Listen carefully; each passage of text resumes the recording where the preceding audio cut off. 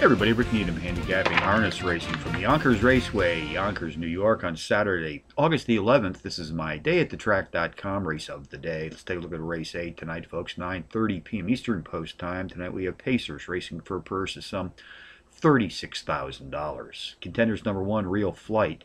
Number 4, Fox Valley Tribal. The New Zealand bred number 3, Alive and Well on my list, along with number 7, Flipper J.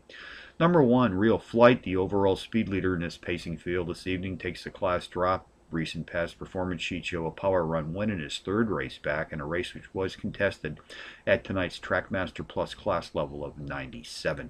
Goes to the rolling gate tonight with the impressive skills of driver George Brennan and his bike. In the last 12 months, Brennan has recorded an incredible .413 universal driver's rating, which is easily the top UDR in this field tonight.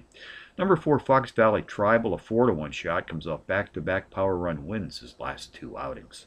Race 8 summary number 1, Real Flight, tops the contenders list tonight, which also includes number 4, Fox Valley Tribal, the New Zealand bred number 3, Alive and Well, and rounding out the list, number 7, Flipper J. That's 1437 in the 8th from Yonkers Raceway. Yonkers long shots you to ponder tonight. Race 1, entry number 2, military Stratcom, a 4 to 1 shot, qualifies as a power pony, is both the overall class and pace profile leader in this field tonight, has hit the board in power run fashion in two of his last three starts.